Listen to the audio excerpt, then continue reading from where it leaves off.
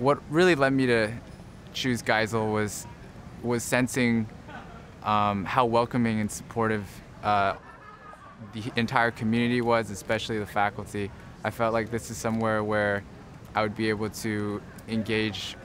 with faculty and, and, and get to know them well and, and be supported and pushed by them. And I felt that I would really grow from this experience. Um, the student body community as well, um, from, from revisiting, it, it, just felt like a place where I'd be comfortable um, as a student. And I think I knew for myself that that's the type of community I would thrive in. What really brought me to medicine was um, seeing in my own family my older brother's experience with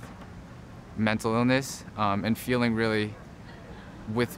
what happens when when when illness occurs when when the body goes wrong um, and understanding how painful that is for the patient and and also for the family around them um, and